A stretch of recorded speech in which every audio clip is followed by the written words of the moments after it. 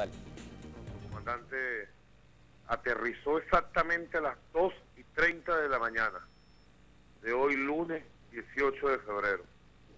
en el aeropuerto internacional Simón Bolívar de Maiquetía y bueno, él mismo quiso dar la noticia a través del Twitter. Nuestro comandante está aquí junto a su pueblo agradeciendo siempre al comandante Fidel Castro, presidente Raúl Castro, de nuestra amada Cuba, al pueblo de Cuba, todo el pueblo de Cuba, nuestra querida y amada